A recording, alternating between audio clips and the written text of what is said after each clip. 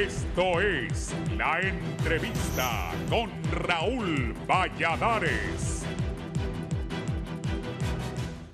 Un panorama nada alentador el que se espera en la Universidad Nacional Autónoma de Honduras debido a las elecciones de nuevas autoridades que ya genera un ambiente tenso luego del zafarrancho suscitado el sábado anterior cuando la Junta de Dirección Universitaria suspendió una reunión cuando estudiantes irrumpieron en el Centro de Arte y Cultura de la UNA, lo que provocó que el rector abandonara el recinto después de que le arrojaran agua. Según trasciende, las autoridades universitarias pretenden elegir ilegalmente el principal órgano administrativo de la UNA, la Junta de Dirección Universitaria, y de acuerdo a los estudiantes, seis de los siete miembros actuales no tuvieron una buena gestión. En el concurso aseguran que existe mano peluda y algunos de los aspirantes no cumplirían con los requisitos para formar parte, mientras que los postulantes que sí eran aptos fueron excluidos. Asimismo, los estudiantes aseguran que en el Consejo Universitario no los toman en cuenta en las sesiones, por lo que mencionan que los frentes estudiantiles están movilizándose contra las ilegalidades que aseveran cometen las autoridades universitarias. Por su parte, el aspirante a rector de la UNA, Nelson Ávila, manifestó que gran parte de las autoridades de la máxima casa de estudios son ilegales y no cumplen con sus objetivos y advierte que las condiciones están dadas para que en las elecciones de la alma mater se perpetúe un fraude. Incluso expuso que el rector estaría buscando el apoyo del Poder Ejecutivo y Legislativo para reelegirse, lo que considera una violación a la Constitución de la República. De acuerdo a informes, trasciende que los frentes estudiantiles no apoyarían una reelección del actual rector, Francisco Herrera Alvarado, argumentando que las actuales autoridades son ilegales. Entre tanto, estos señalamientos y posturas toman fuerza en la población estudiantil y aspirantes. El rector Francisco Herrera expresó que coincide con las personas que ya basta de interinatos dentro de la universidad y necesitan a todas las autoridades en propiedad para que le dé solidez a la UNA y que progrese y al ser consultado sobre si buscaría una reelección, respondió que en estos momentos se está en juego la formación de la Junta Directiva Universitaria. En el momento que se abra un concurso para las autoridades por venir, que será la Rectoría, ya podrá avisar si toma la decisión o no de participar en el proceso. Igualmente mencionó que el proceso para la nueva Junta de Dirección debe ser escalonada, la llegada de nuevos miembros, ya que cambiarlos todos de forma abrupta podría traer consecuencias, por lo que primero pretenden nombrar tres y posteriormente cuatro para que así los siete integrantes estén en sus puestos.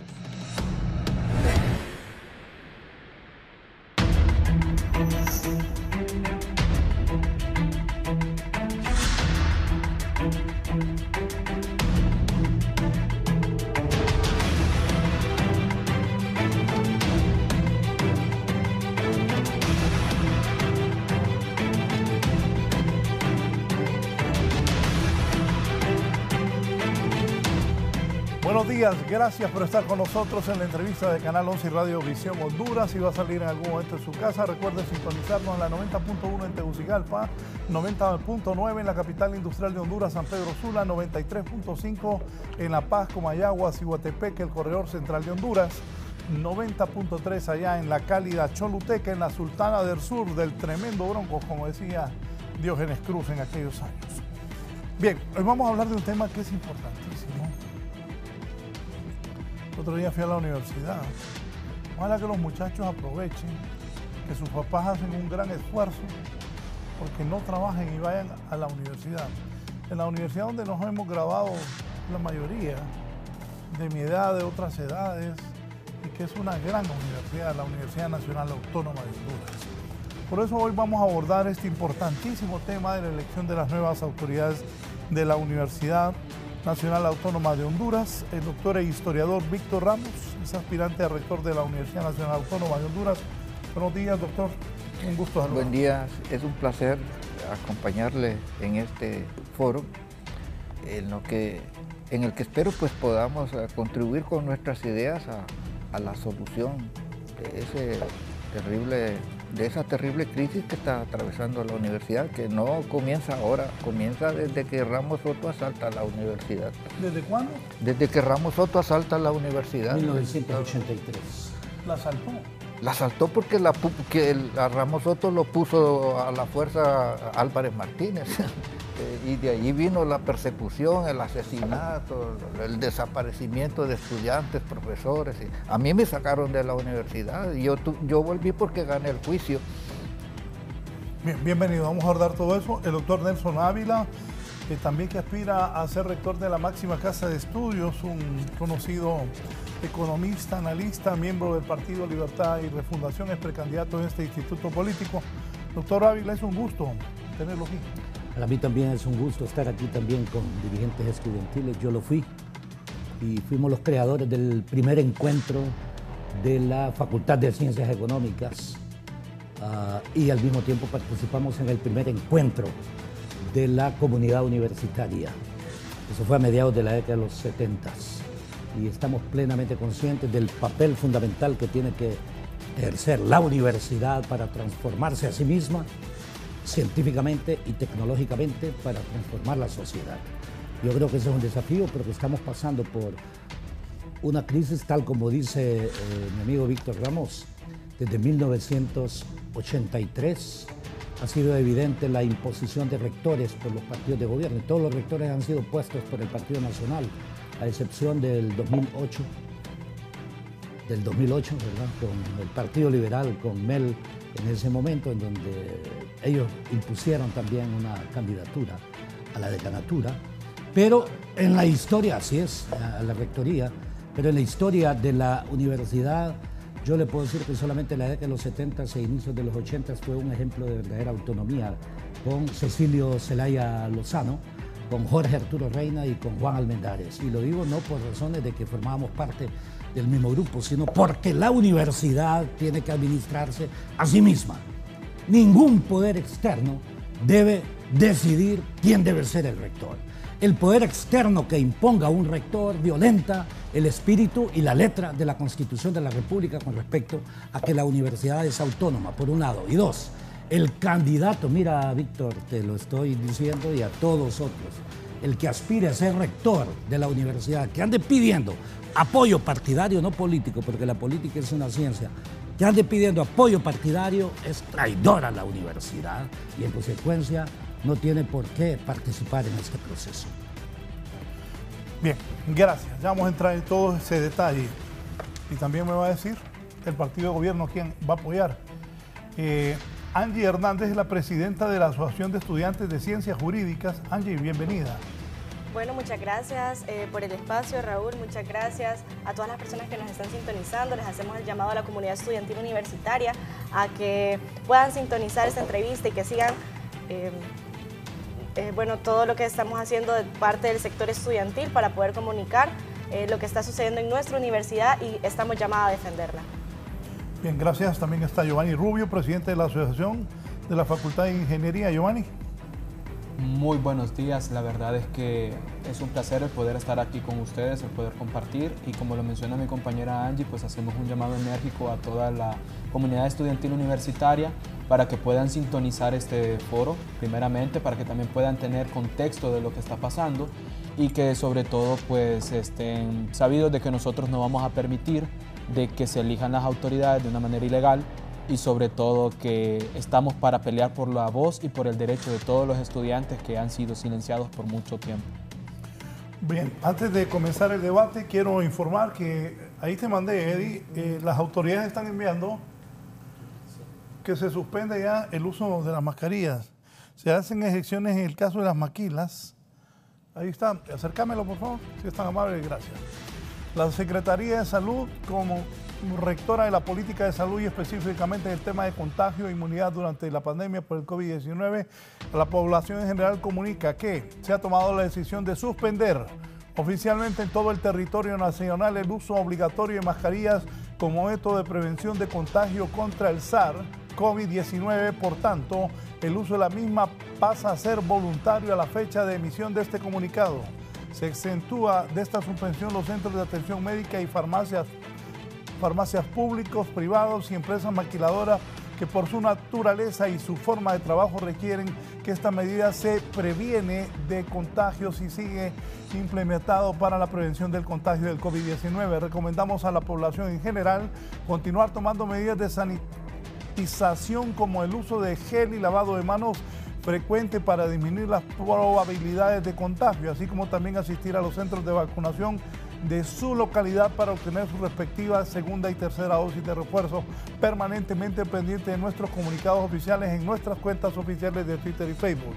La Secretaría de Salud continúa trabajando en coordinación con el sector público y privado para orientar recursos humanos y financieros durante el ciclo de cierre de la pandemia del COVID-19 a nivel nacional y asegurar el abastecimiento de medicamentos para el tratamiento de casos. Ya usted puede dejar de usar la mascarilla si usted quiere en cualquier lugar. Las maquilas iban a seguir, las farmacias y los hospitales. Decisión del Ministerio de Salud, quien quiera ya no puede andar, si quiere ya no ande con mascarilla. Voy.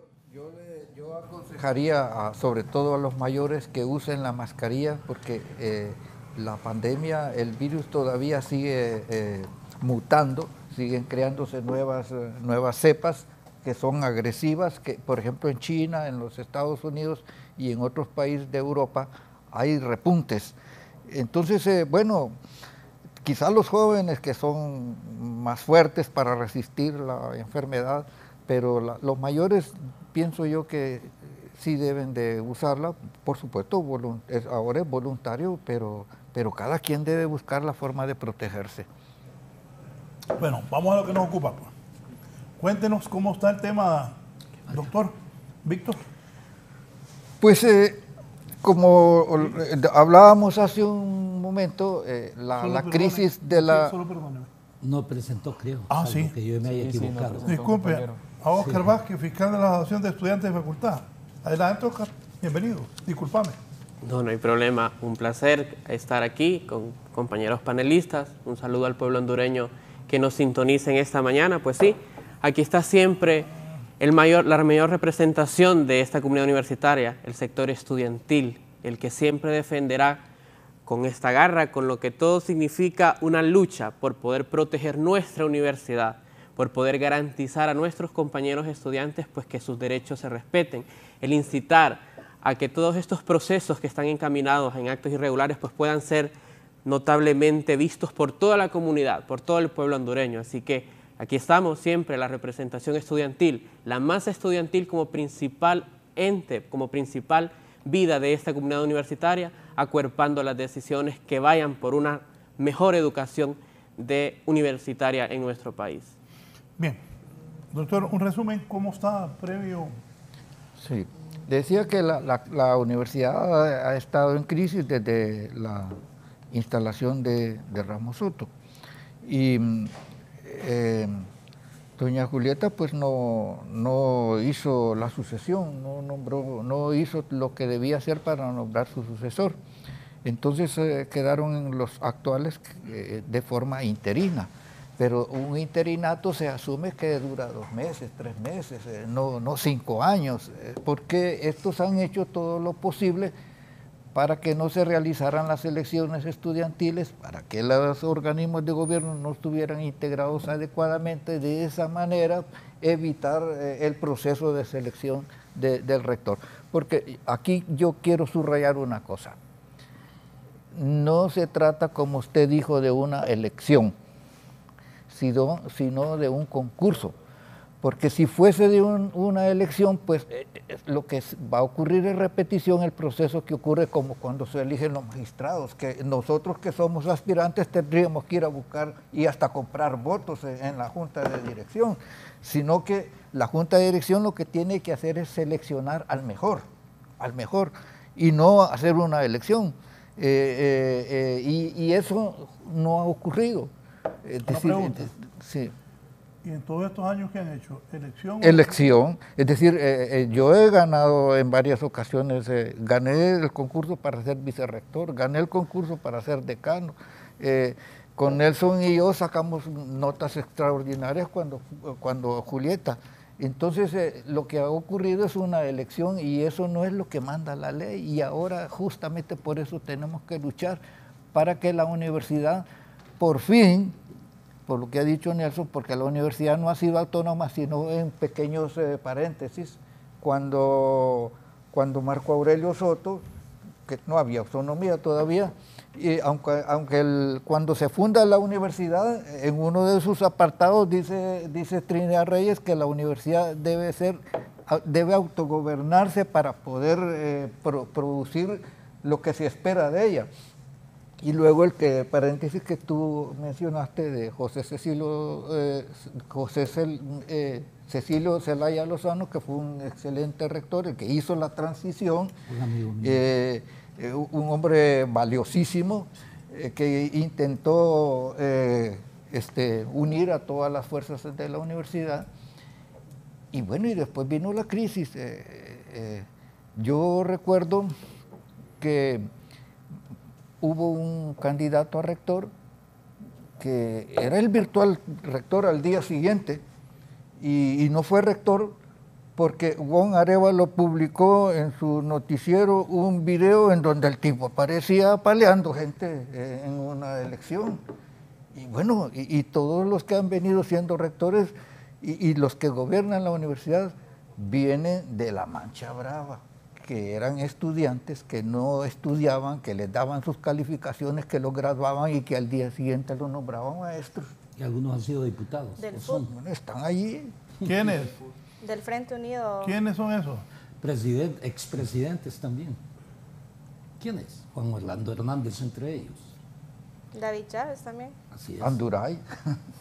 Anduray. Eh, sí, Anduray era, era, era garrotero y este, este, que estaba en la, en la, eh, que estaba preso en los Estados Unidos, eh, eh, me acuerdo que cuando lo nombraron secretario general de la universidad, saliendo de la, de la facultad, cuando el secretario general era el segundo puesto en trascendencia en la universidad, lo eligieron con, los, con estos tres requisitos o estos tres méritos. Uno, que tenía una mujer bonita, dos, que era un campeón goleador y tres, que era un destacado militante del fútbol. Bueno, pues. Y eso está en las actas. Mérito. ¿Por qué ríe, doctor? Ávila. Eh, es una sonrisa, si le parece, dramática. El drama es la combinación entre la comedia y la tragedia, ¿no es cierto? Entonces la universidad nuestra ha vivido más en la tragedia que en la comedia y eso es dramático, sobre todo en la era del conocimiento. Se supone que en la era del conocimiento, en realidad lo que debe privar es el conocimiento para la transformación. Yo siempre les digo, es increíble, fíjate, 2.300 años atrás, en el libro La Gran Moral, La Gran Moral, Aristóteles dice, el conocimiento lo es en la medida en que vaya orientado hacia el bien común. qué interesante reflexión. En otras palabras, todo aquel conocimiento que no vaya orientado hacia dar algo a los demás, no tiene razón de ser. Ese es el espíritu de la Universidad Nacional Autónoma de Honduras establecido precisamente en la Constitución de la República. ¿Y cuál es ese espíritu? Bueno, la universidad tiene que contribuir a transformar su medio, pero para transformarse hay que transformarse a sí misma. ¿Cómo va a ser eso posible si desde 1983 los rectores que fueron impuestos, eh, tal vez con ciertas eh, excepciones eh, por el Partido Nacional, eh, de hecho lo que menos tenían era academia. Aclaro, ah, academia en el sentido universitario es tener grados, títulos, títulos universitarios que son ya seis niveles de formación. Primero es bachillerato universitario, el segundo nivel es licenciatura, el tercero es la especialización, el cuarto es la maestría, quinto doctorado y el sexto nivel de formación es postdoctorado. En la mayoría de las universidades del mundo en este momento, un requisito académico es tener inclusive un postdoctorado, me explico. Solamente en Honduras es que reformaron todo eso para poner a sus eh, adelantes, hablemoslo claro, ¿verdad? Y muchos de ellos no tenían ni experiencia eh, docente. Ni título. Y, sí, bueno.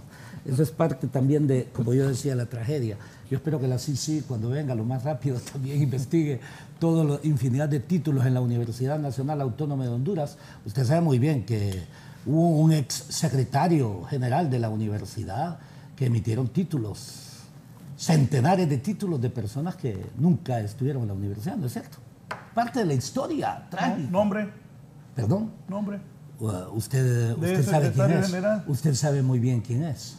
No, el pueblo Usted no sabe diga. quién es un eh, abogado.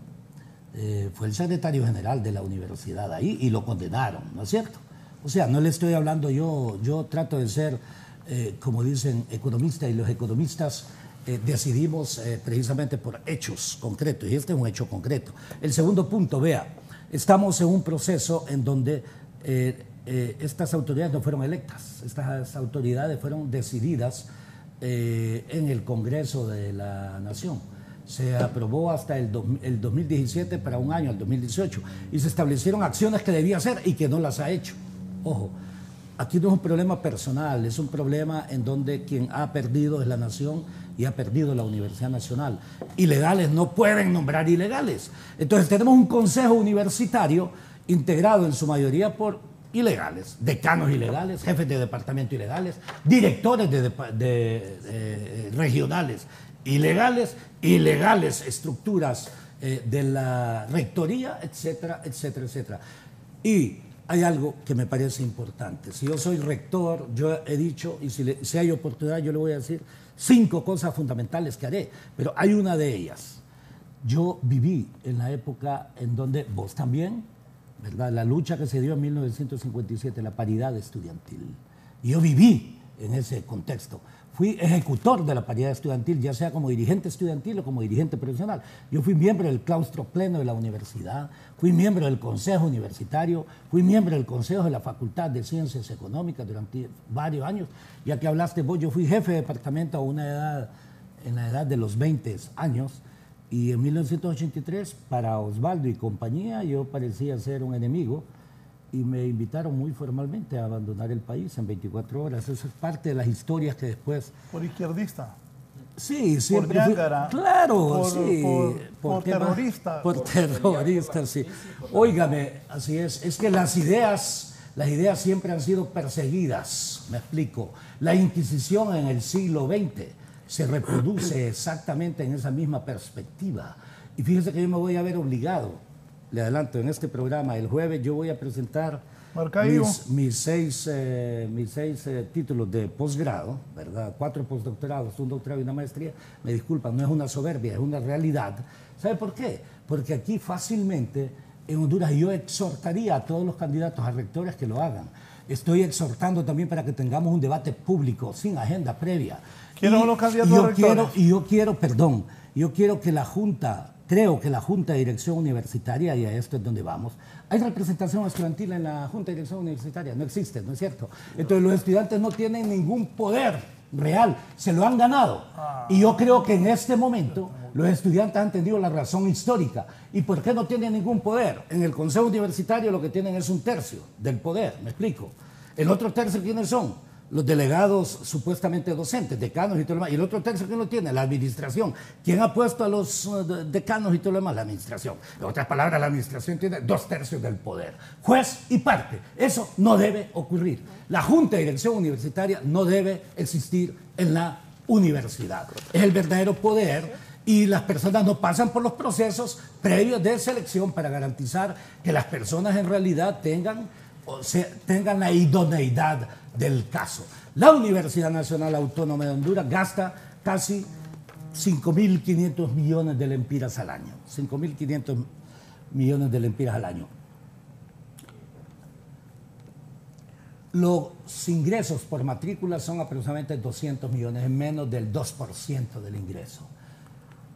Hemos dicho, la Constitución de la República también dice que la educación es gratuita y debería ser gratuita. ¿Sabe usted cuánto se gasta en la universidad por las reprobaciones? Como si el objetivo es reprobar a los estudiantes, el objetivo es que aprendan.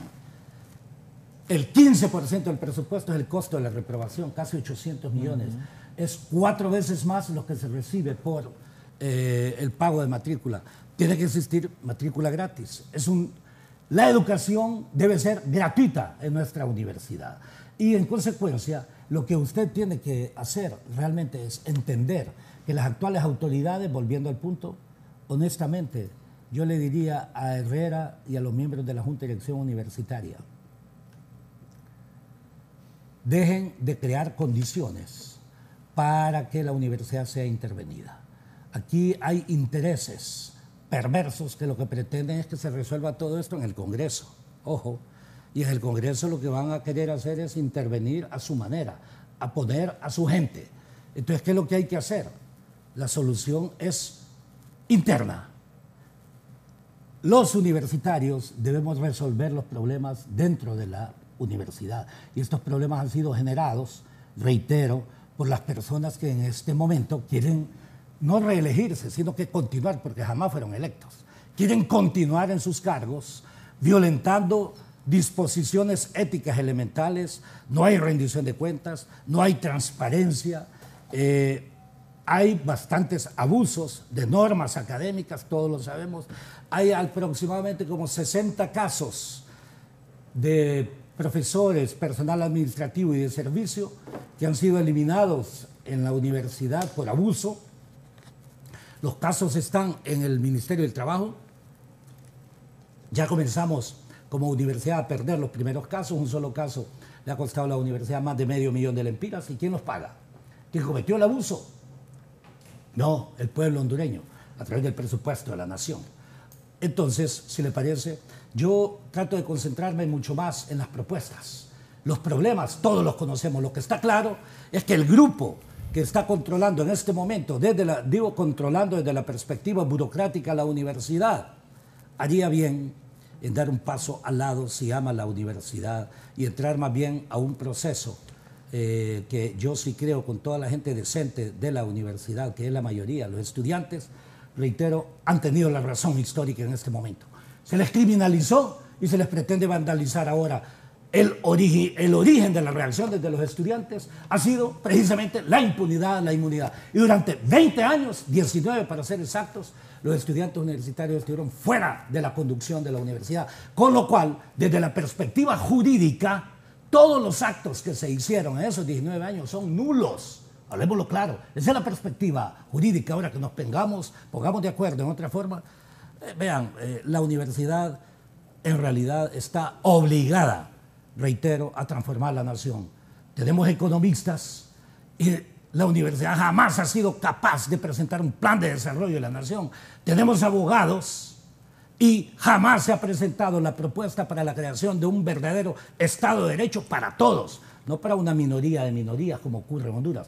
Termino. Tenemos ingenierías, ya sea civiles, y vean el Estado, no han hecho ninguna propuesta de red vial. Yo como ministro asesor económico en la época de Mel, ahí tengo un plan de desarrollo en el cual no le gasté ni un tan solo cinco al gobierno y tengo un plan de red vial y tengo un plan de energía eléctrica, de, electrificación eh, nacional. ¿Por qué no hemos sido capaces de hacer propuestas para resolver los problemas de la ENE, por ejemplo, si tenemos ingeniería eléctrica? ¿Por qué no hemos sido capaces de resolver el problema de la corrupción que se da también a través de obras públicas como red vial o como energía eléctrica?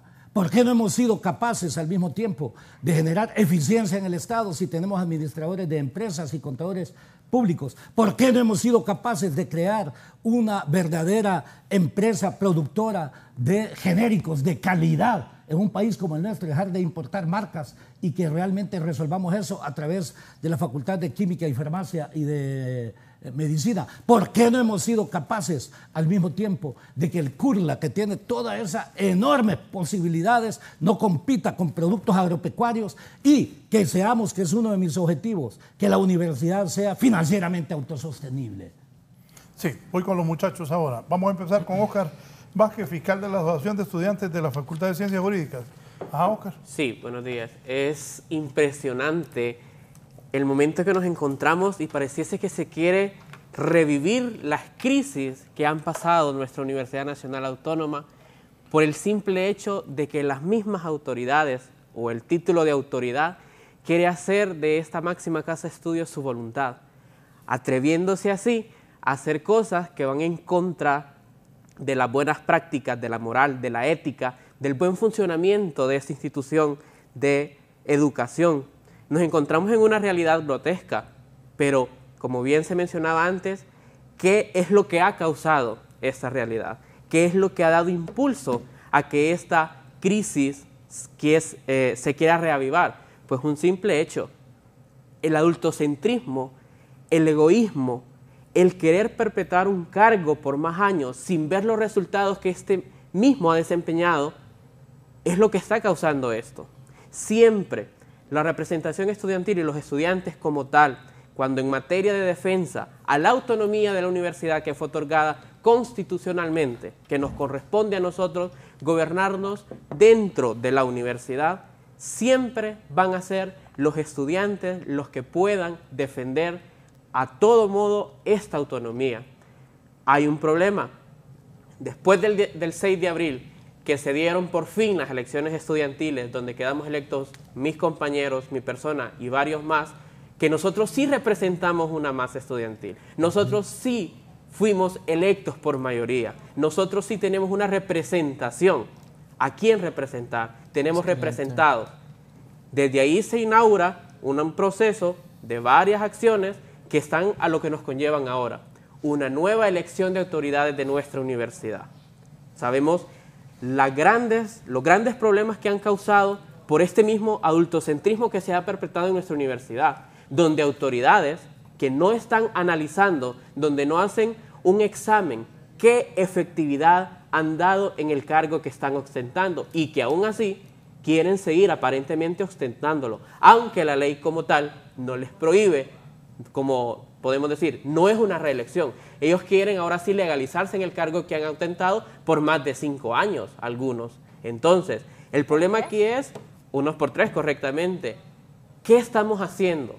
¿Por qué estas personas no están visualizando el contexto que se está llevando? Nosotros como estudiantes tenemos una memoria histórica, sabemos las crisis que nuestra universidad ha pasado pero vamos a este nuevo proceso, a la Junta de Dirección Universitaria, qué ha pasado, qué está pasando, y las mismas técnicas de estas eh, autoridades. La culpa, lo grotesco, lo que no se puede mencionar es culpa del estudiante. La criminalización está resurgiendo. Muchos hablan. Lo mediático, los medios de comunicación, muchos de ellos pues han visto y han puesto en sus titulares eh, lo que los estudiantes hacen, pero no hay un verdadero contexto del por qué. No dan la, la otra cara de la moneda. Hay que hacer también aclaración que la misma universidad, valiéndose de UTV, que es un medio dentro de la universidad, que le pertenece a la universidad, pues se ha prestado para poder criminalizar, para hacer que las autoridades se, se vean como víctimas, cuando no le dan un verdadero transbordo a la historia cuando no dan un verdadero sentido, cuando no explican, cuando apañan y quieren hacer ver al estudiante, que es el que está luchando para que esto se realice de una mejor forma, con transparencia. ¿Qué problema hay que el sector estudiantil puede exigir que esta elección pueda ser transparente, apegada a la normativa? Pero no, estamos viendo cómo se está reactivando, como lo mencionaba antes, esta criminalización. ¿Por qué? porque no se está viendo el verdadero sentido de una lucha estudiantil, de la masa estudiantil. La masa que es el principal factor, lo que le da vida a una comunidad universitaria. Y vuelvo y repito, nosotros, los representantes ante el Consejo Universitario, que son representación estudiantil, sí fuimos electos, sí tenemos a quien representar. Nosotros sí somos legales y legítimos durante un proceso que costó vida de compañeros, criminalización, y eso no es de taparlo, están varias pruebas, están los medios, hay historia que no se olvida. Entonces ver esta realidad, el contexto de la verdad de esta lucha, de esta crisis que le quieren llamar, quiénes son los impulsadores, quién están reactivando esta crisis y por qué. Los dejo con esta palabra, el adultocentrismo es malo. Bien, Angie Hernández es la presidenta de la Asociación de Estudiantes de Ciencias Jurídicas. Angie. Sí, bueno, eh, como mencionaba Oscar, esta crisis se está reactivando porque la crisis no se ha detenido. Eh, desde el 2004, recordemos eh, la intervención del Congreso Nacional que se quiso realizar dentro de la universidad, que nos mantiene una y otra vez y otra vez recayendo. O sea, las acciones por parte del sector estudiantil no se toman solo porque sí, existe una razón y son los medios de comunicación quienes también se han prestado para la, para la misma desinformación. Por ejemplo, UTV sacó ayer un video, ¿verdad?, donde mencionaban que que se agredía a personal de la universidad, pero segundos antes nos sacan cuando un empleado de la universidad me agrede a mí. Nos sacan y cortan el video cuando el rector... el video? Eh, sí, creo que aquí lo ando. Nos sacan cuando viene el rector y empieza a amenazar y, confrontar a... Te lo voy a mandar a, sí, sí, a un compañero. por ejemplo. Entonces son este tipo de cosas que también nos molestan, ¿verdad? De los, de los hechos eh, del, del sábado donde estuvimos presentes porque como representación estudiantil, como bien decía Oscar, nosotras y nosotros sí nos debemos a alguien, a nosotros sí nos escogieron, nosotras y nosotros sí tenemos a quien responderle. Y principalmente al sector estudiantil y al pueblo hondureño. Entonces, por eso nosotros el sábado estábamos pidiendo que como representantes eh, pudiéramos entrar a la sesión del Consejo Universitario. E incluso mandamos la solicitud para que, eh, bueno, mi persona y otros tres compañeros más pudiéramos entrar a la sesión. El secretario se negó. Esa sesión fue una sesión extraordinaria, donde eh, pretendían hacer la elección de las siete personas del Consejo Universitario. ¿Cómo están haciendo esta elección?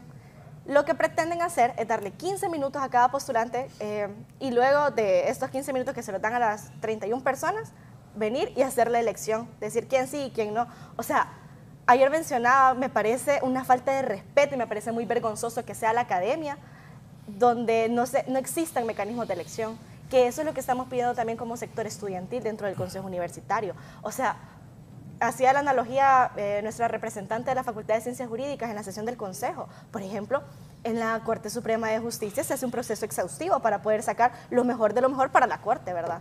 Porque la academia no, se está prestando a este tipo de, a este tipo de barbaridades. O sea, ¿Cómo es posible que yo en 15 minutos voy a determinar quién va a estar en el funcionamiento de la universidad por cuatro años? Cuatro años que es la repercusión, no va a ser en el momento, sino que es trascendental por 8, por 10, por 11, por 20 años. Entonces, es por eso que nos parece demasiado preocupante.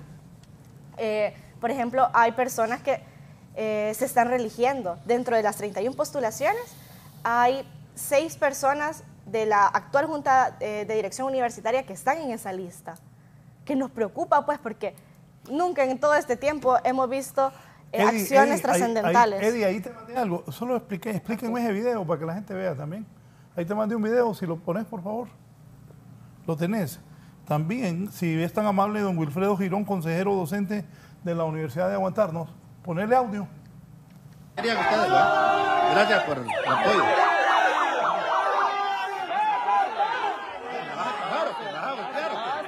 Dale, dale. Eso es lo que querían ustedes, ¿verdad? Gracias por el apoyo.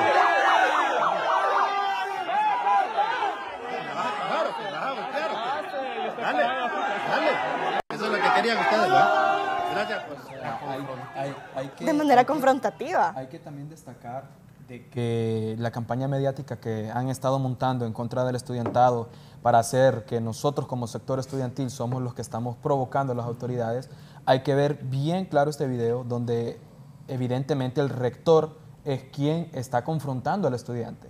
O sea, el estudiante está ahí presente en su derecho de protesta. O sea, todos tenemos derecho a protestar, pero quien va a confrontar es de la misma autoridad.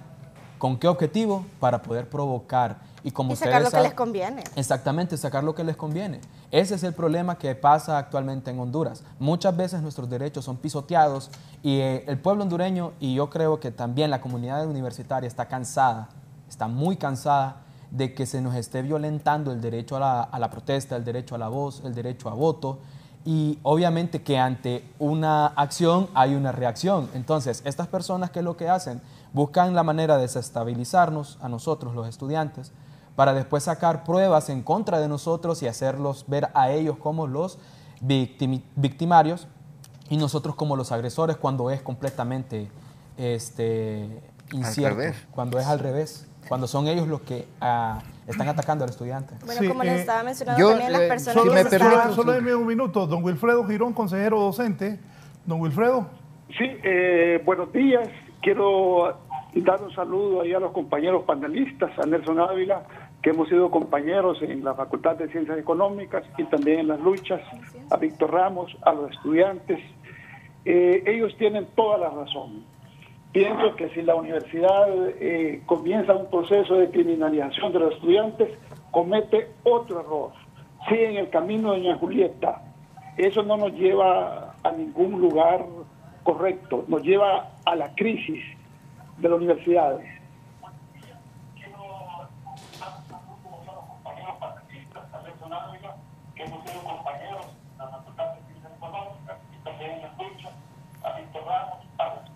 No escuche, no escuche el televisor, solo el, el teléfono, por favor. Sí, sí, sí, sí, sí. El, entonces continúo ahí, continúo ahí porque el, el, el- entonces, definitivamente los estudiantes y también los panelistas tienen toda la razón, ¿verdad? Eh, ahí eh, eh, el camino que siguen las autoridades es un camino incorrecto, quieren criminalizar ¿verdad? a los estudiantes y posiblemente también nos quieran criminalizar a nosotros, cuando los únicos responsables de lo que está pasando son ellos. ¿verdad? El afán ahí de- de poder, ¿verdad? Eso, eso lo lleva al desastre, pues, porque el poder, de un poder interino y legítimo, quieren asaltar el poder en la universidad. Y eso definitivamente es incorrecto. Entonces nosotros condenamos cualquier acción de la universidad, ¿verdad? Eh, en el sentido de criminalizar la protesta estudiantil. Los únicos responsables de lo que pasó ahí eh, en el centro cultural son las autoridades. Lo hicieron en un lugar inseguro. Cuando se abrió las puertas, eh, un montón de gente que estaba ahí, que no son estudiantes, que estaban ah, ahí eh, marihuaneándose, entraron y las cuestiones quedaron abiertas y ese fue el daño que se causó. Pero los responsables son las autoridades. ¿Por qué son responsables? Porque escogieron un lugar inseguro, donde ni siquiera había parqueo, ¿verdad? Eh, convocaron a última hora, convocaron a las 11 de la mañana el viernes ¿verdad? Y querían que todos los concejales pues participaran cuando trasladarse de Olanchito o de Copán acá por lo menos son ocho horas y algunos lo hicieron pero de- definitivamente los responsables de la crisis en la universidad son las autoridades y nosotros condenamos, condenamos así que ellos sigan en esta línea, ¿verdad? Tratando de criminalizar la protesta estudiantil. Lo condenamos. Cabe Gracias, Wilfredo Girón, consejero docente de la U. No, Yo- cabe yo resaltar quiero que el sábado que, aclarar que algo. pasó toda esta cuestión también, eh, lo que sucedió es que desde el sector estudiantil, con nuestras representaciones estudiantiles ante el Consejo Universitario, eh, acordamos que no íbamos a votar en esa sesión extraordinaria. Correcto. Quedamos de que ese iba a ser nuestro posicionamiento y nuestra representación lo respetó y ni siquiera llegó a sentarse a esas sillas de ese salón. Se quedaron parados y empezaron a exponer los motivos, donde el rector, la Secretaría General, que es ah, ah, el decano Arquímedes. Arquímedes, eh, y demás consejeros universitarios, que son docentes y autoridades de la universidad, riéndose y burlándose de, de nuestro, de nuestra representación, pues cuando aquí sabemos que tenemos la razón y que por eso estamos luchando. Entonces, seguidamente, los compañeros dijeron que no iban a votar y se iban a salir de la sesión. Sin embargo, vinieron y por órdenes de la rectoría cerraron los portones con, canda- con, con cadena y, cadena. canda- y candado Cadena y candado. privando de la libertad a nuestros compañeros y compañeras, pues porque si la sesión, si ellas y ellos permanecían en el salón, permanecían en el centro de, de cultura y arte de la universidad, la sesión iba a seguir y siguió. Y cabe resaltar también que cuando los a- al inicio ni siquiera los querían dejar entrar, no querían dejar entrar a la representación estudiantil. Cuando entran, resulta que ya habían votado por un informe y ya habían entrevistado a dos personas. ¿Cómo eso es posible? Sí, eh, la ley orgánica menciona que el Consejo Universitario, como mencionaba el doctor, está compuesto por tres poderes, pues, autoridades, docentes y estudiantes, y si no hay estudiantes no hay Consejo Universitario. Doctor. Yo estuve en la primera sesión, eh, bueno, fui junto con Margarita Pavón y, y Mauricio Mendoza, que eh, los tres aspiramos a ser rectores, íbamos a presentar un escrito para advertirle al Consejo que no puede nombrar la Junta de Dirección porque la ley manda de que debe de tener un reglamento. Y la misma universidad, yo tengo una nota, admite que no tiene el tal reglamento. Bueno, pero no nos dejaron entrar. Eh, los policías de la universidad se plantaron en la puerta y no nos dejaron entrar. Después llegaron los estudiantes, los delegados estudiantiles, los suplentes, tampoco los dejaron entrar. Seguidamente trancaron los portones, les pusieron cadena, les pusieron candado y bueno, nosotros nos vinimos y después vimos que también hubo un zafarrancho y tuvo el rector que suspender la elección. Señor rector, usted ya no tiene autoridad para dirigir esto. Señores decanos, señores directores, apártense, dejen que la universidad decida lo que tiene que decidir.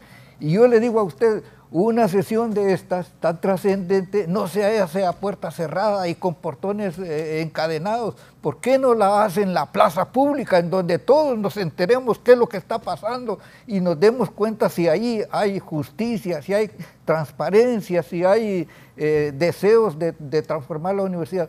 Porque yo personalmente, y Nelson creo que coincide conmigo, yo no quiero ser rector para ir a ganarme un salario, es decir, yo incluso puedo renunciar al salario, yo quiero ser rector para transformar la universidad, para poner la universidad, es una piltrafa realmente así como está ahora, no hay ciencia.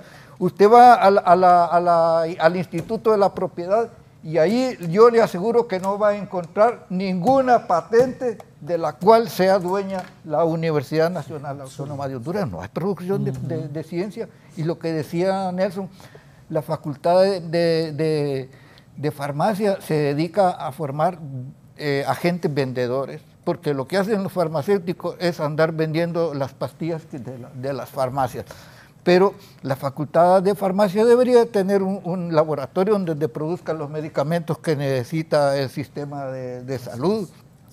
Lo mismo que dijo Nelson. Lo otro es que la universidad todavía sigue con una metodología de enseñanza arcaica. Ahí lo aplazan a alguien, eh, digamos en geografía, le pregunta dónde queda el Nilo y si no sabe dónde queda el Nilo se queda aplazado. Pero sí, ¿qué trascendencia tiene saber dónde queda el Nilo? Lo que el estudiante universitario tiene que aprender es a resolver problemas. Y los problemas se resuelven mediante el, acceso a la información. A eso hay que enseñarle al estudiante que busque las, las fuentes de la información. Y en la vida, a usted nadie le permite, nadie le impide preguntar cuando tiene un problema Mire que todavía en la universidad, como lo que preguntan son cosas absurdas en los exámenes, es prohibido volver la cabeza para preguntar. Eh, en mi hijo que estudió en Francia le dan los exámenes para que los lleve a su casa y no le prohíben que, que consulte, porque en la vida nadie le va a prohibir a uno consultar. Cuando yo fui jefe de departamento en morfología, hice cambios estructurales en la enseñanza y pasé de 70% de reprobación a 80% de aprobación. De un solo alumno que había sacado 80% eh, en su calificación, pasé a, una cantidad grande que subieron la calificación. Pero yo puse a trabajar a los profesores, todos se pusieron en contra de mí y me hicieron una huelga. La señora rectora eh, me llamó, me dice, venga a explicarme qué es lo que pasa. Y llegué allá y le expliqué todo lo que había hecho y cómo, y, los resultados. Y, me dijo, esto es lo que hay que hacerse en toda la universidad. Eso fue a las 10 de la mañana. A las 2 de la tarde me había despedido. Me había despedido como jefe de departamento, a pesar. Y luego, cuando ella hizo su informe anual, reprodujo mi informe como que si hubiera sido su rol, logros por los cuales ella me despidió. ¿Qué rectora fue? La, señora Ana Belén. Ana Belén Castillo. Después de la pausa, inicio con el doctor. Eh, antes, una foto nada más, una foto que te acabo de enviar, que aquí está Eddie.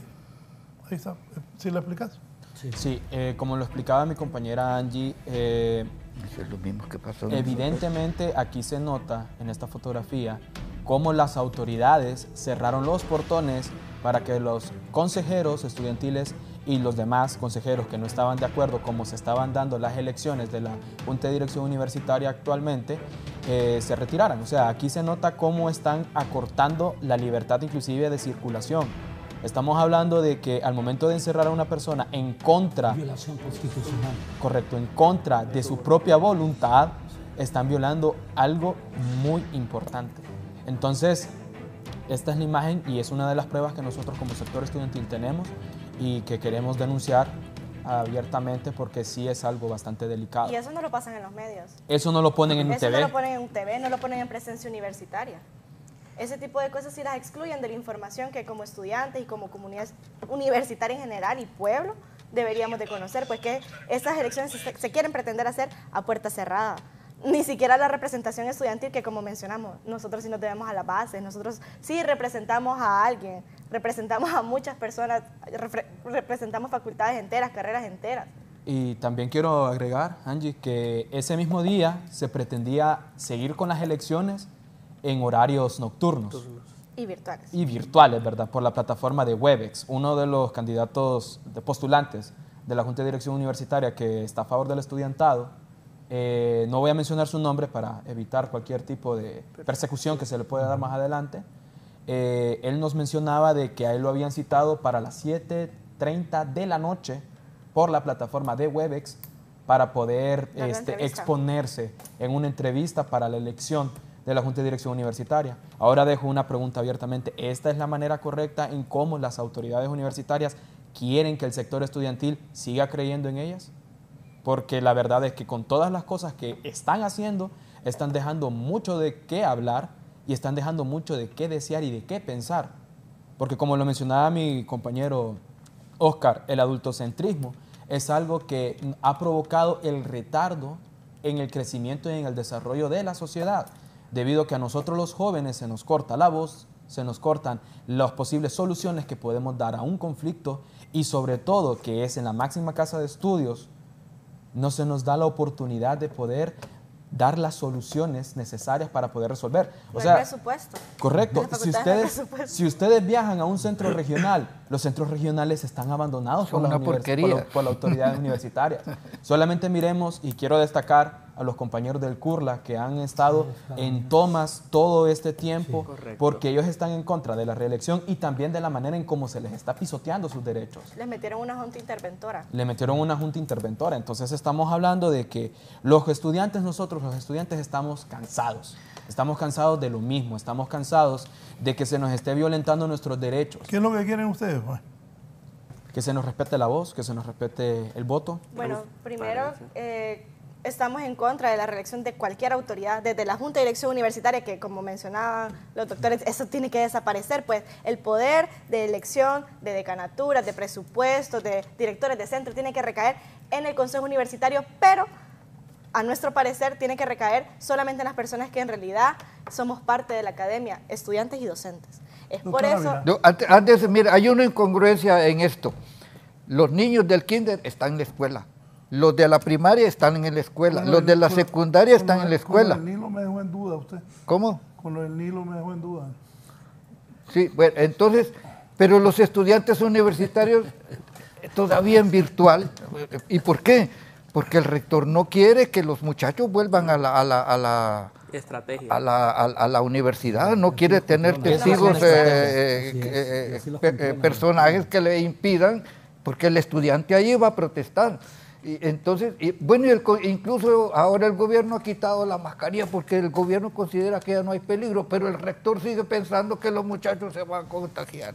y no los, y no los invita a clases. mascarilla obligatoria en la universidad. Por eso nos estábamos como riendo un poco de lo irrisorio que es, pues ahorita que estábamos viendo esa de la Secretaría de Bueno, dicen que ahora eh, las autoridades de salud van a tener que pedirle permiso o pedir que el Congreso Nacional de la República haga esto de la suspensión de la mascarilla eh, aquí voy a detallar.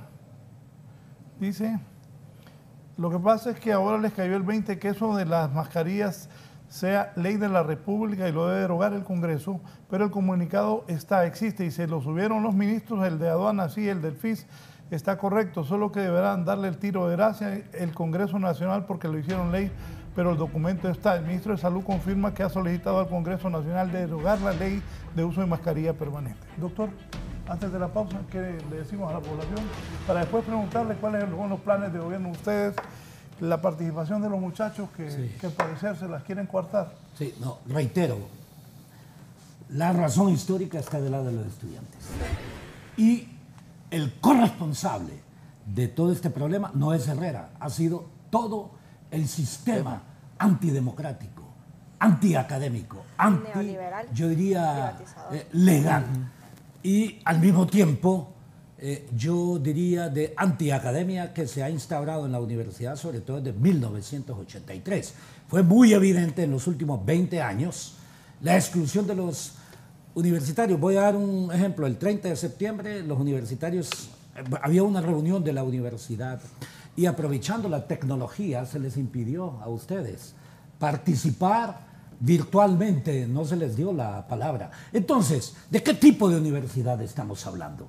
Yo sí reitero, reitero, la solución siempre es compleja, pero es mucho más compleja si continúan los originarios de esta crisis en la universidad. Les recuerdo, los jóvenes, todos ellos han sido electos, ninguna de las autoridades ha sido electa.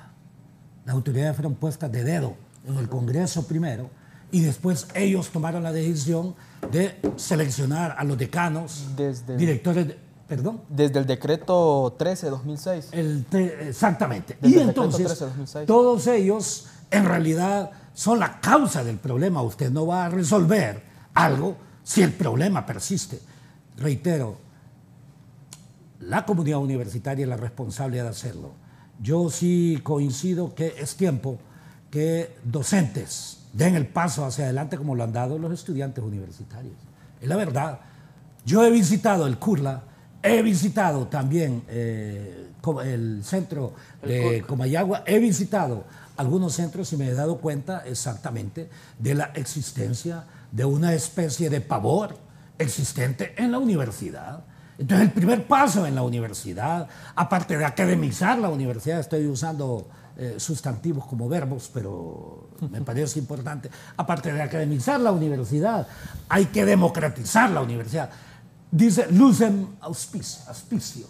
Esto significa que la universidad tiene que ser luz para la sociedad y más bien lo que ha ocurrido es que las autoridades universitarias reflejan, oscuridad. reflejan la obscuridad de, la, de cierta parte de la sociedad hondureña. Corrupción, ilegalidad, abuso, impunidad, inmunidad, ilegalidad, etcétera, etcétera, etcétera. Pero sobre todo, un problema eh, que en realidad Hay yo... rectores que deberían de estar en la cárcel y que Infinidad. salieron en- en- Repita.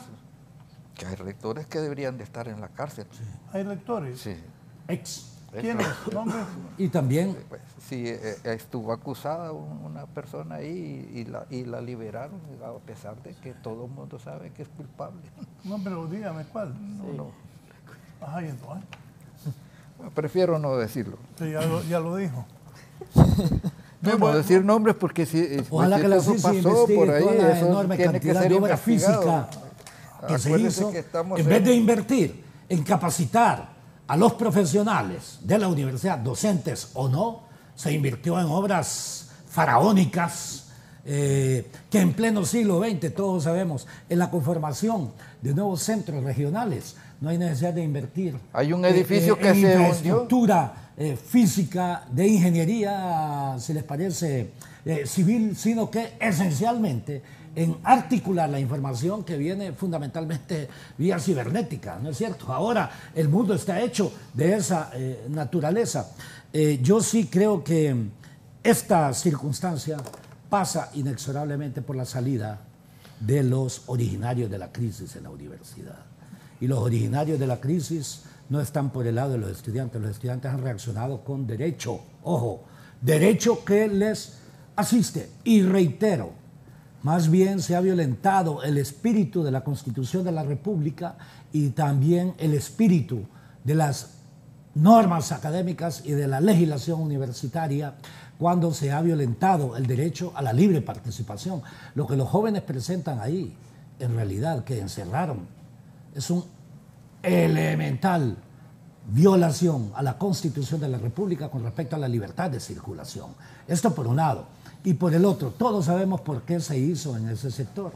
¿verdad? En ese sector se hizo una visión de seguridad para ellos, eh, para que estuviesen la policía, porque si no iba a entrar como lo hicieron, incluyendo el actual rector corresponsable de la violación de la autonomía, cuando durante infinidad de años quien tenía la conducción de, rectoral de la universidad hasta pidió a los militares a los policías que entrasen a la universidad. Es una El violación. 24 de julio del Víctor, 2019. en la época en que nosotros fuimos dirigentes estudiantiles. No permitíamos. ¿Vos crees? Ajá, jamás. Ni en la época precisamente de Álvarez Martínez, ni en la época de las dictaduras militares de la década de los 70, que fue la época en que a mí me eh, correspondió ser tanto dirigente estudiantil como dirigente profesional, 70 y hasta el 83, eh, que me, como dije yo, me invitaron muy especialmente. Así que fueron varios años en el exterior y eso ha ocurrido también con jóvenes eh, recientemente que se les victimizó. Muchos de ellos tuvieron que vivir en el exterior, ¿no es cierto?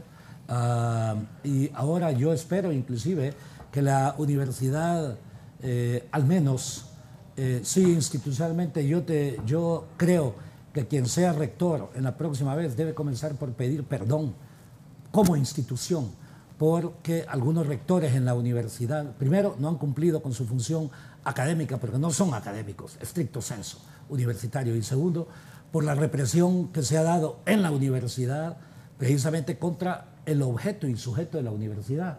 Raúl, el objeto y sujeto de la universidad son los estudiantes, o sea, ¿y por qué razones? Bueno, simple y sencillamente porque son el presente y el futuro, no son el futuro. Es el objetivo de la formación académica, es que los profesionales tengan no solamente habilidades y destrezas para desarrollar su trabajo. El objetivo de la educación, el objetivo de la educación en general, en general, es la creación de seres humanos con pensamiento libertario, ojo, con pensamiento libertario, con pensamiento solidario, que sean capaces de transformar su sociedad, pero al mismo tiempo con la máxima dotación de conocimiento a través de la ciencia. Ese es el verdadero objetivo. Entonces, ¿qué es lo que tenemos que hacer? La solución, en realidad, reitero, pasa inexorablemente porque en la universidad las personas que han mal gobernado la U den un paso al lado y dejen en realidad que la universidad se autogobierne. Y ese es uno de los puntos. Reitero, sé muy bien, sé muy bien la intervención de personas del Congreso, del Ejecutivo, de partidos políticos, no solamente de uno, de partidos políticos, por ponerse de acuerdo como siempre han hecho, porque ellos entienden la política como el la repartición de poder personal, no entiende la política como ciencia. Le importa un comino. Es que saben que la ciencia, que la política está basada en la ética y la justicia. No lo saben y no les importa. Porque siempre han actuado en la política como la capacidad que se tiene para negociar para sus propios intereses y para su grupo de cortesanos. Y así ha ocurrido y así quieren también dirigir e imponer en la Universidad Nacional. La universidad no existe por ejemplo, si no existe academia. Y academia está basada en tres elementos fundamentales. Uno, investigación científica. Como tú dices, no hay una tan sola, ojo, no hay un tan solo registro de una invención que se haya hecho en la universidad. ¿Me explico? O sea, como universidad. El segundo punto, obvio, es una vinculación, pero vinculación significa con la sociedad en su conjunto, pero no para eh, asistencia, sino para transformación. y el tercero, perdón. Una integración. Así es. No una vinculación, sino que una integración universidad. Exactamente. Y en ese contexto, eh, por eso yo planteaba que ese es el papel de la universidad, contribuir al proceso de transformación. No que la universidad va a transformar, contribuye a transformar, me explico. Y es en este eh, contexto que sí puedo decir que hay algunos que siempre crean caos, porque en el caos ellos ganan. Los caóticos y los perversos ganan en el caos. Entonces lo que tenemos que hacer, simplemente, el origen del caos, todos sabemos quién es, que dé un paso al lado y que lo resolvamos internamente en los universitarios. ¿Quién es el del origen del caos?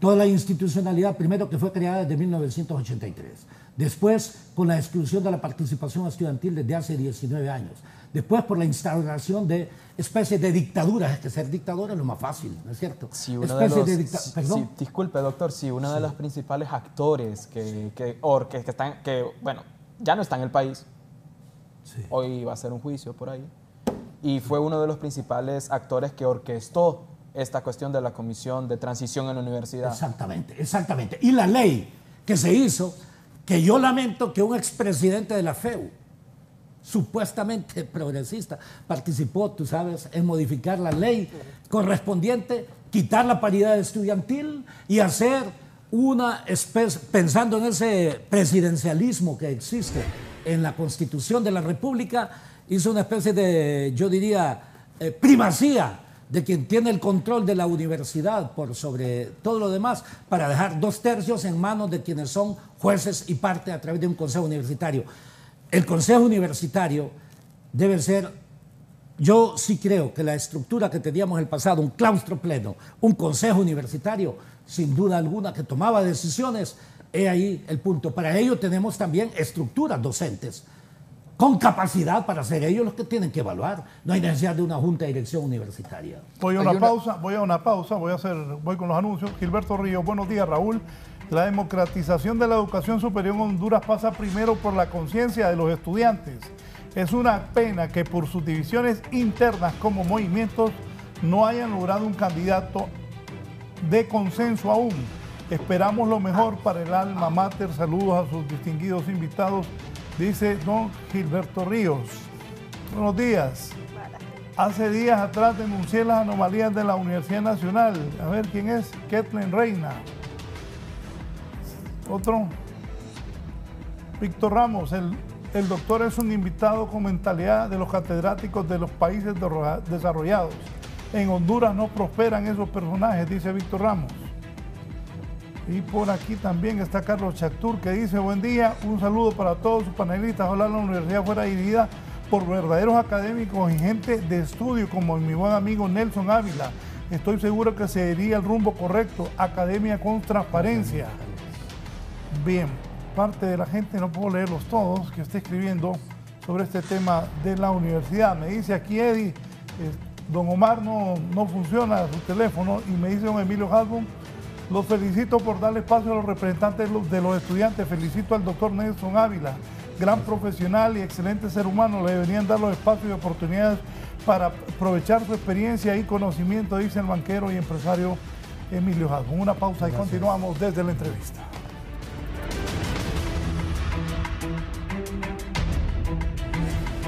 Ya volvemos con más de la entrevista con Raúl Valladares. Continuamos con más de la entrevista con Raúl Valladares.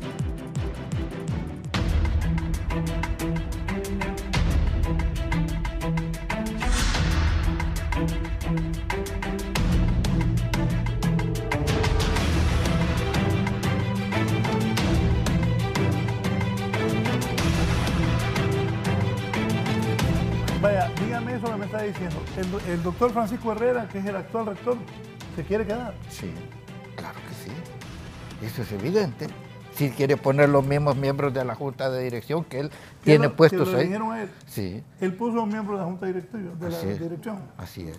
O sea que usted la lo seleccionó Julieta porque él era director del centro de Valle de Sula y solo lo trasladaron para acá. o sea, él ni siquiera se sometió a un concurso público como, debería, como lo están haciendo ahorita. Pero además la, la, la, ley dice... Él quiere reelegir. La ley dice que el, rector tenía que ser el, más antiguo, el más antiguo decano y no era él el más antiguo. lo que se quiere es legalizarse en el puesto. No elegir porque él nadie lo eligió.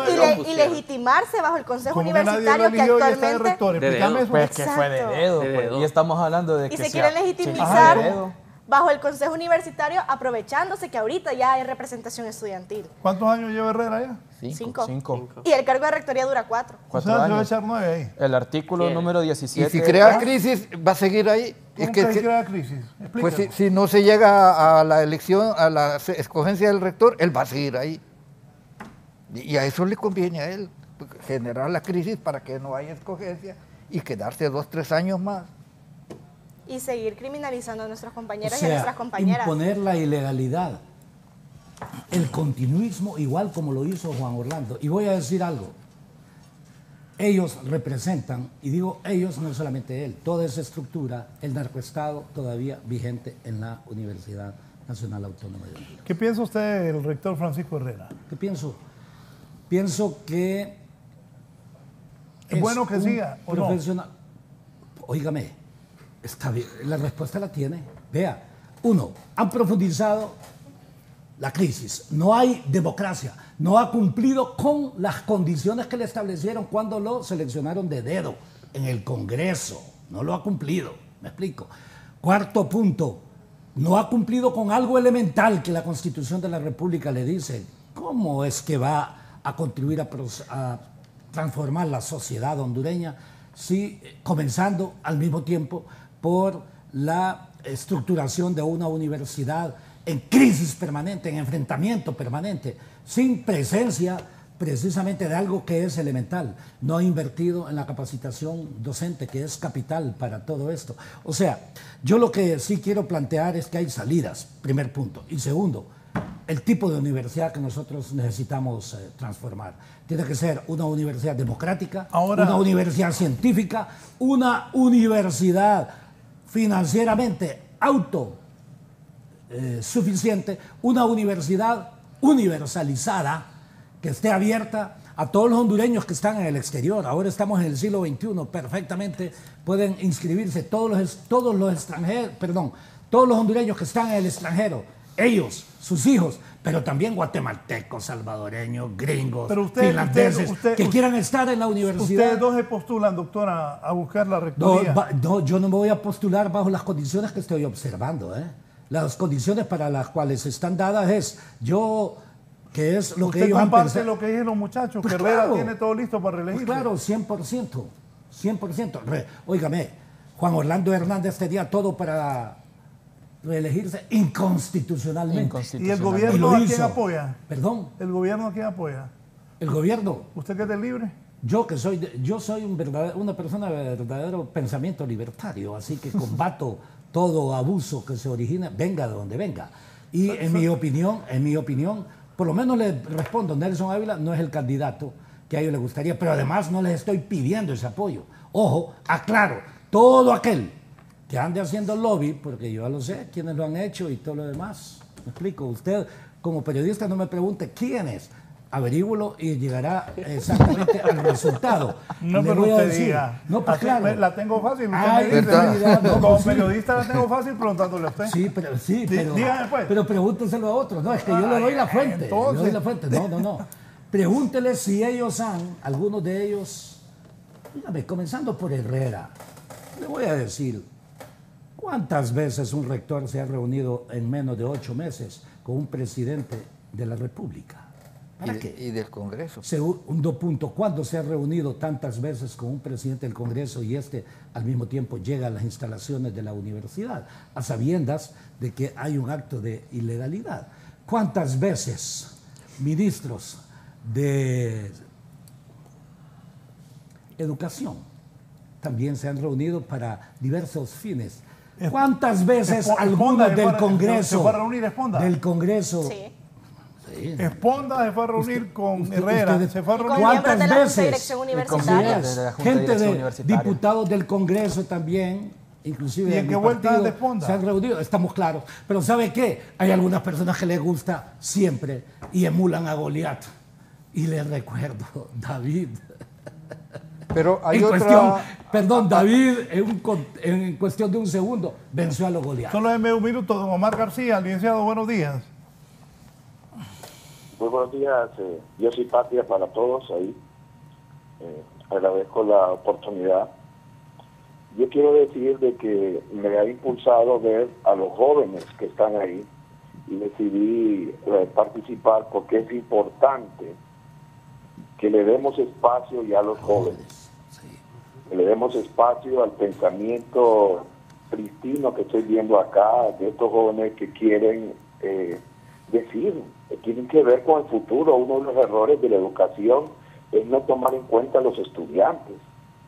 Y nosotros tenemos que ver que la educación pública es algo que es maravilloso. Mis padres fueron campesinos que solo llegaron hasta cuarto y quinto grado. Yo estudié en escuela pública Juan Ramón Molina, después en el Iguera, después en el Central, después estudié en la UNAM y después saqué mis maestrías, y mis doctorados y mis diplomados a nivel nacional e internacional, pero el origen fue la oportunidad de que hubieran políticas públicas en favor de la educación. Eso me llevó a querer participar como concejal para el Consejo Nacional Electoral, del cual los partidos políticos hicieron todo lo posible para que no quedara. Y también participé, antes de que quedara la señora Julieta, como eh, competidor para ser eh, rector de la universidad. Y recuerdo una llamada en la mañana que se anunció que había quedado, que me pedían que no fuera a demandar la universidad porque habían hecho algo eh, en contra mía que era ilegal y hasta lo publicaron.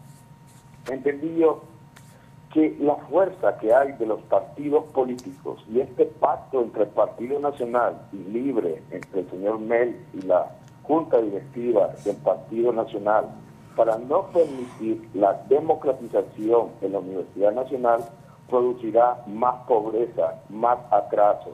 Es cierto de que la Universidad Nacional Autónoma ha quedado en un ranking muy respetable y eso yo lo reconozco porque tengo que ver mucho con la educación. Yo hice el estudio para el Banco Mundial de la Educación y conozco perfectamente desde el kinder hasta la universidad cómo está la educación en el país y hay informes acerca de ello. Es importante de que se dé la oportunidad de la reforma universitaria en toda plena, donde los estudiantes puedan tener voz. Ellos están viviendo el presente. ¿Por qué queremos que un grupo de personas que ya hicieron su vida y que a la sazón y razón de los partidos políticos puedan entonces seguir tomando decisiones en la universidad cuando estamos viendo de que hay nuevas formas y exigencias para estar eh, saliendo graduados con nuevas profesiones? Uno de los puntos es que cada uno de los centros regionales de la universidad deben de enseñar carreras en función de la necesidad económico-social local, no de otro lado, porque eso está arruinando precisamente al país, no estamos dándole las oportunidades cuando solo estamos pensando en la industria y la industria solamente se está quedando con poca gente. Importante es que ustedes puedan hoy hacer, visito Raúl, por en función de que debe de haber una apertura para escogencia de rectores que valga la pena. Personas que no sean el status quo, personas que nos den profesionales aquí a 5 o 10 años que estén compitiendo con los conocimientos precisamente del siglo XXI. Y acá el ser dialéctico, el ser tolerante, el ser democrático, es un valor que debemos de cuidar. Los partidos políticos no quieren que aprendamos a vivir en democracia. Y cierro con esto. Lo que está pasando ahorita en la universidad, todo eso siempre, siempre, llevo años y siempre he visto que lo que pasa en la universidad después se refleja en crisis nacional. Miren ustedes, pueblo hondureño, lo que está pasando en la universidad, les aseguro que así va a pasar con la Corte Suprema de Justicia, con la elección de lo que va a ser del Ministerio Público, porque los partidos que tienen metidas sus garras sobre la educación, porque ellos son los que están sembrando la ignorancia. Entre más ignorante es el pueblo, más poder tienen ellos. No les conviene que quede lo académico. Démosle la oportunidad a lo académico. Muchas gracias. Gracias, licenciado Omar García. Hay, una, hay una cosa que, quisiera yo resaltar. Eh, eh, oí unas declaraciones de Russell que dice que todo el problema de la universidad se debe a la autonomía. Ojo. ¿Perdón?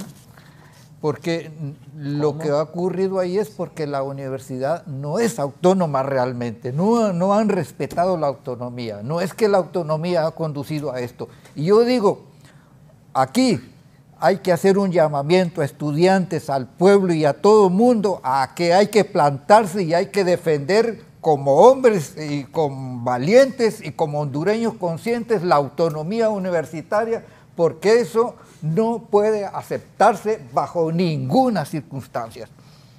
Yo sí quería agregar dos cuestiones, ¿verdad? Creo que eh, tomaría también la pregunta que le hacía al doctor sobre qué, qué pensamos de Herrera, ¿verdad? Para nosotras y nosotros Herrera es un traidor de la educación pública del país. Es una persona que ha mercantilizado y privatizado la Universidad del Pueblo. Y es por eso que desde la conciencia, desde la masa, desde la colectividad, hemos estado avanzando en estos proyectos por la liberación de la universidad para que se respete la autonomía universitaria. Eh, es muy importante lo que acaba de mencionar usted, doctor, de que es importante de que nos plantemos pues y, empecemos a defender la autonomía, pero recordemos que la autonomía no se defiende desde el celular. la autonomía no se defiende estando eh, aquí en estos medios. La autonomía se defiende en la universidad, en la trinchera, en la, calle. Cuando, ok, donde han estado eh, estas supuestas autoridades que están con, que supuestamente son aliados del sector estudiantil cuando nos agreden, cuando nos han golpeado, cuando, como mencionaba el doctor, en el 24 de junio del Ahí, 2019. ahí, ahí le iban a Padre Herrera, ta- estaba, estaba molesto ayer. No, pero esa. no, el que nos sacó fue su guarura. Los guaruras lo sacaron. Sí, ahí, ahí Sí. fueron, fueron sus guaruras. los ¿Dónde que fue eso? En el Centro de Arte y en Cultura.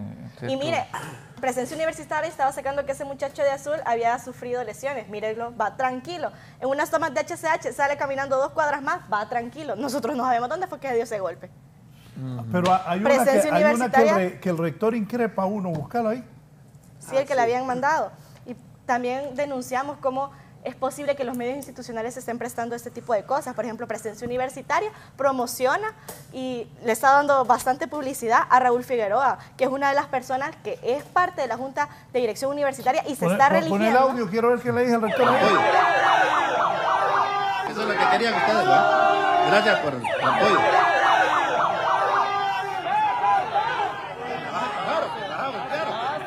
Dale, dale. Eso es lo que querían ustedes, ¿verdad? Condenamos ese tipo de actitudes también. Y como les mencionaba, esa promoción que se le está haciendo a uno de los candidatos para que pueda legalizarse en el cargo de la Junta de Dirección Un- Universitaria nos parece eh, una barbaridad pues y está eh, como una de las prohibiciones dentro de el- el- la ley de ética del servidor público que no se puede promocionar por los medios institucionales eh, cuando se está buscando un tipo de reelección o se está buscando el mismo cargo. Entonces, eh, condenamos todo este tipo de, de actitudes que está tomando la universidad porque no están respondiendo a los intereses del alma de la universidad, que somos las y los estudiantes.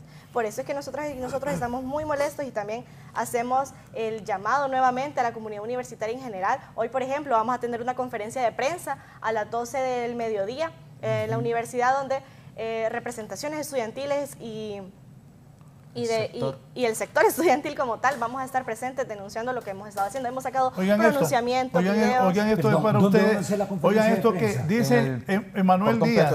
De Emanuel Díaz, buenos días. Eh, debe intuir que los muchachos que están en su panel están siendo instrumentalizados por personas con ambiciones personales. Los estudiantes tienen una representación del 33.33% dentro del Consejo Universitario. Si ellos no están de acuerdo, deben exponer dentro del Consejo sus propuestas. Si no son aceptadas, no pueden imponerlas por la fuerza. Están siendo el siguiendo el ejemplo de los políticos de turno del Congreso.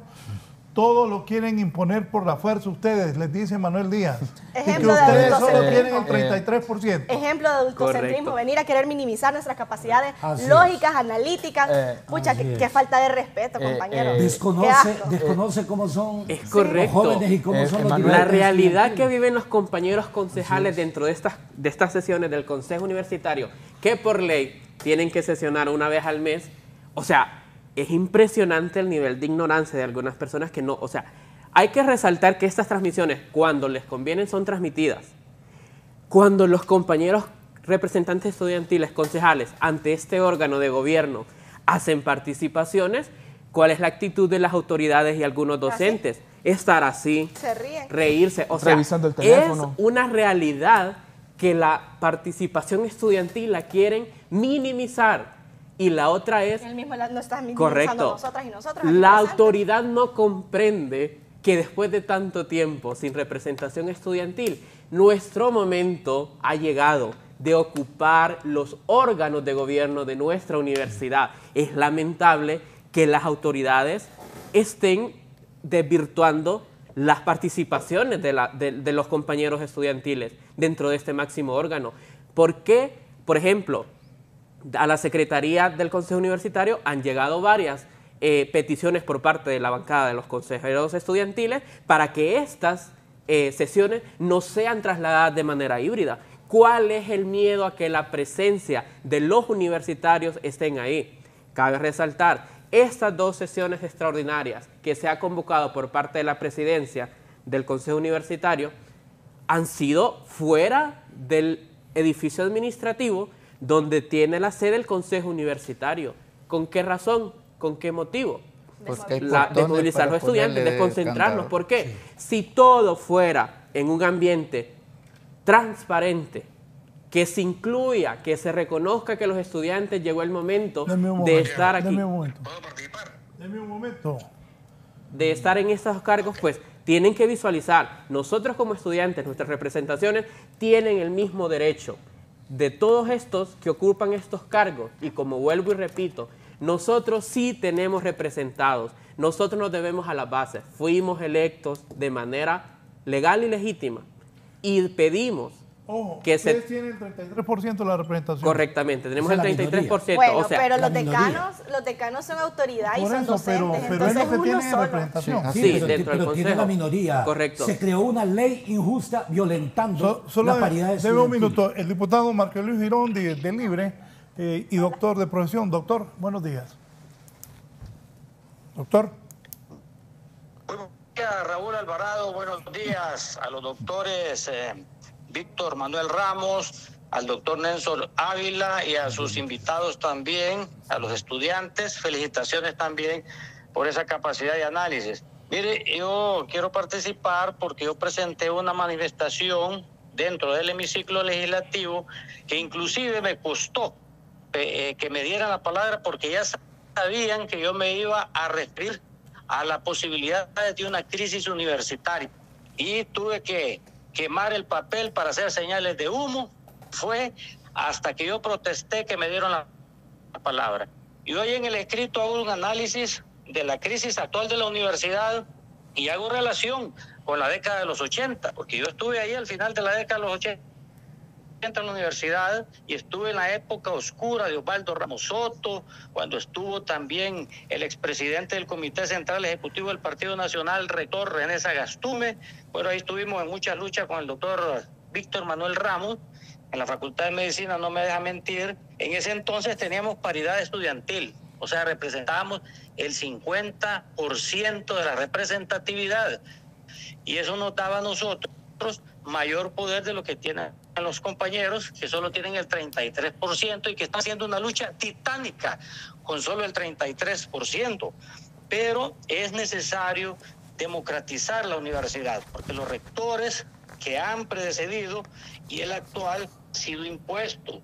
La universidad es la representación de la sociedad y lo que he estado escuchando yo en este momento, mire, no hay docencia en este momento en la universidad porque todavía están recibiendo clases virtuales mientras en todo el sistema educativo están presenciales. No hay vinculación o extensión que llamamos nosotros o integración, como escuché a los estudiantes con la sociedad, porque mire, pasan huracanes, pasan catástrofes, pasan pandemias y la universidad cerrada. tiene esa, esa actividad que debe tener con la sociedad y mucho menos investigación. Creo que es el momento de que dentro de la universidad la academia puede resolver los problemas. Porque se decía que, la, que en el Congreso Nacional estamos solicitando intervención. No, eso no es cierto. En ningún momento en mi manifestación hablo de intervención porque como el Di- Dice esto, dicen estos muchachos que usted mismo la pidió.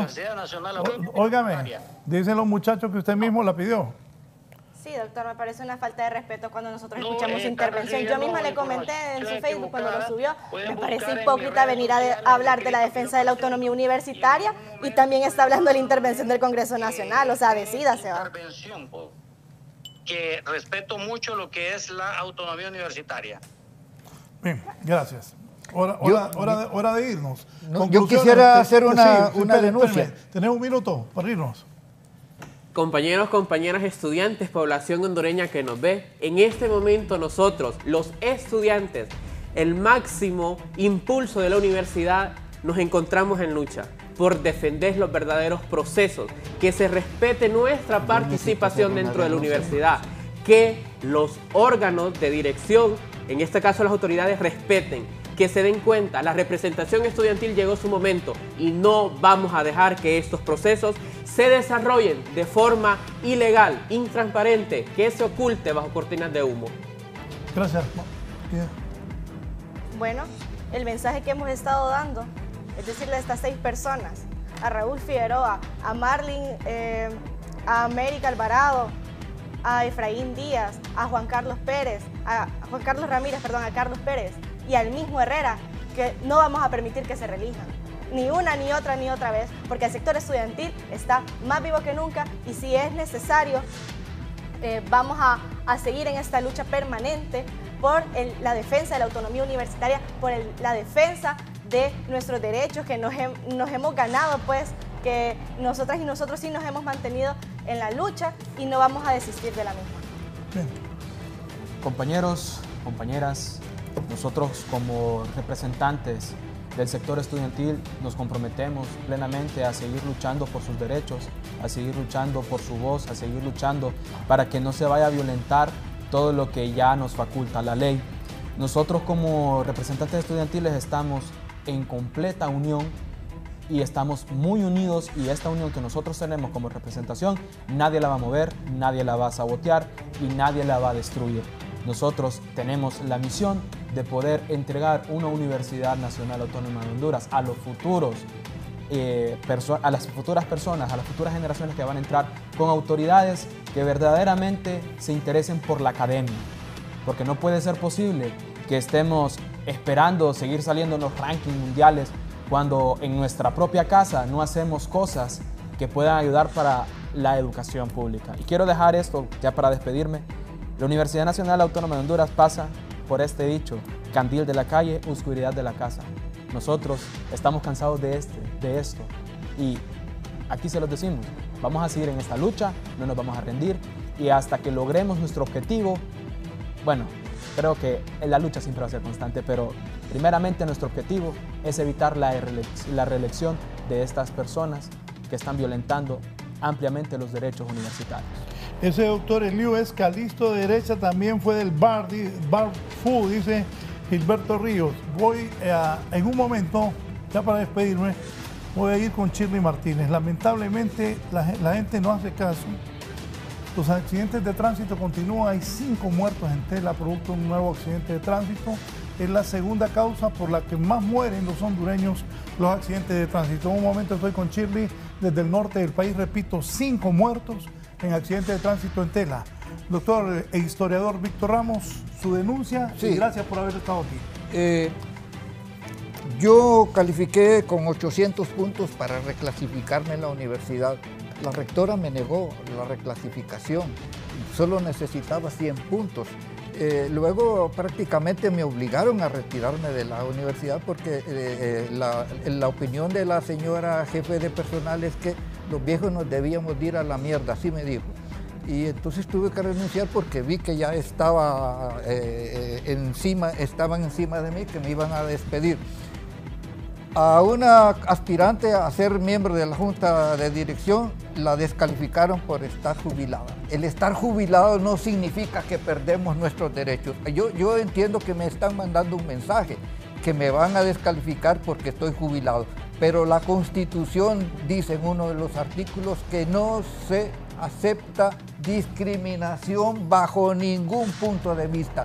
De tal manera que el hecho de que yo esté jubilado no significa que he perdido todos mis derechos ciudadanos y mis derechos constitucionales. Y yo le advierto, o a la Junta de Dirección, a quien sea, que los jubilados tenemos perfecto derecho a seguir aspirando a ser parte de la transformación de este país.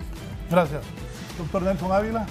La crisis universitaria tiene solución que no está en la continuidad de estas autoridades, no solamente a nivel rectoral, sino que a nivel también, reitero, de los departamentos, perdón, de las regiones y al mismo tiempo en cada una de las escuelas y facultades correspondientes. Hay necesidad de la creación de un pacto interno, un pacto universitario que trascienda la legalidad injusta que han impuesto con esta ley universitaria en la cual le quitaron la autoridad precisamente al objeto y sujeto de la universidad, que son los estudiantes, aclaro. Yo me siento en realidad orgulloso de esta generación de jóvenes. En el caso de Oscar, Angie, Giovanni, eh, conozco también, eh, lo he visto ahí en sus presentaciones al presidente de la FEO, Luis Sandoval, me parece un joven también igual que ustedes, muy inteligente. aquí desconocen a esta generación de estudiantes. Esta generación de estudiantes yo jamás les he dado ninguna recomendación a ningún estudiante porque sé que tienen la suficiente capacidad para reflexión y para acción con un esquema también de voluntad. La universidad tiene que ser una verdadera universidad científica, universidad democrática, una universidad que sea ejemplo y luz para la sociedad hondureña. La universidad tiene que ser también y estar abierta a todos, no solamente los hondureños que viven en territorio acá, a cualquier ser humano que viva en territorio, pero también a cualquier ser humano hondureños en el exterior también y no hondureños. Eso es perfectamente posible. Después, en la lucha, si se crean las condiciones diferentes y no se establece una junta de dirección universitaria todas luces legal pero injusta, digamos, a todas luces, legal pero injusta, aunque la legalidad es cuestionable, de lo, de lo mismo porque los ilegales no pueden producir legalidad. La universidad tiene salidas. Dejen los poderes externos, reales o fácticos, de entrometerse en los asuntos de la universidad. La universidad tiene que autogobernarse. Gracias a mis invitados. Ahí está la situación en la universidad. Le vamos a dar seguimiento. Nos vamos con Shirley Martínez. Lamentablemente, cinco muertos en el puerto de Estela. Shirley. Gracias, licenciado. Lamentable informar a esta hora de la mañana pues este trágico accidente citado en la CA 13 del municipio de Tela en la zona atlántica. Hasta este momento el capitán Mario Velázquez del Cuerpo de Bomberos del municipio ha confirmado el deceso de cinco personas. Se trataría de tres adultos y dos menores de edad. Asimismo, pues una sexta persona que fue trasladada al hospital público de la ciudad gravemente herido y del cual pues no se han tenido pues más detalles. Sin embargo, pues ya nos acercamos nosotros a la escena de este trágico accidente para indagar con las autoridades cuál pudo ser el motivo de este accidente. Sin embargo, se ve que el vehículo donde se transportaba esta familia pues pegó en la parte trasera de un automotor de carga pesada y se habría registrado el mismo en horas de la madrugada y hasta este momento pues se percataron algunos ciudadanos que iban circulando por la carretera cuando vieron estas personas sin vida. Cinco personas, tres adultos, dos menores de edad han quedado sin vida con el resultado de este trágico accidente en la CA13 del municipio de la Atlántica. Con este resumen retorno con ustedes. Bien, lamentable. Repito, la causa, la, la segunda causa por lo que más mueren los hondureños son los accidentes de tránsito. ¿Tienen una conferencia de prensa ustedes? Sí, bueno, queríamos primero mencionar que eh, decirles a las autoridades universitarias y al gobierno que pare la persecución estudiantil. Estamos cansadas y estamos cansados de que nos se nos siga persiguiendo dentro y fuera del campus universitario. También hacemos el llamado a la comunidad estudiantil universitaria a que se una con nosotras y nosotros a esta conferencia de prensa que vamos a mantener hoy posicionando eh, los acuerdos de las bases estudiantiles. Así que les vamos a esperar al mediodía en, la, en Ciudad Universitaria eh, para que conozcamos más del tema y nos unamos a las acciones dispuestas desde cada asamblea de estudiantes. Y le hacemos el llamado también a esas autoridades a que no presten su voto para poder seguir con estas ilegalidades. Un llamado a la conciencia sobre todo, a la conciencia y a la ética, porque si juzgamos, bueno, no juzgamos, sino que condenamos la reelección en, el país, que fue de una manera ilegal, eh, también tenemos que condenar las irregularidades que existen en la universidad. Bien, gracias. Nos vamos. ¿Tiene el apoyo del, gobierno de Libre para hacer rector? No, ni lo necesito, ni tampoco lo solicitaría porque es un poder externo. Yo soy coherente igual que lo que él acaba de expresar, eh, Giovanni. Hay que ser eh, coherente en esto. ¿Y Francisco Herrera, el apoyo de quién tiene? ¿Perdón? Francisco Herrera, el apoyo de quién tiene. Bueno, históricamente usted habrá observado toda la acción que ha hecho y la ha publicitado también para interés personal en los sitios virtuales de la universidad, con lo cual también es una violación y es un abuso eh, precisamente de utilizar los espacios universitarios para fines personales. Lo, digo porque es eh, elemental, hay que ser coherente si apoyó los hospitales móviles que hasta el día de hoy siguen brillando por su ausencia. Completamente. No son móviles porque no tienen ni ruedas. Están pegados con cemento. tampoco son hospitales. Bien. En sentido estricto. Gracias a mis invitados, a ustedes por permitirnos ingresar a sus hogares. Que estén bien. Buen día.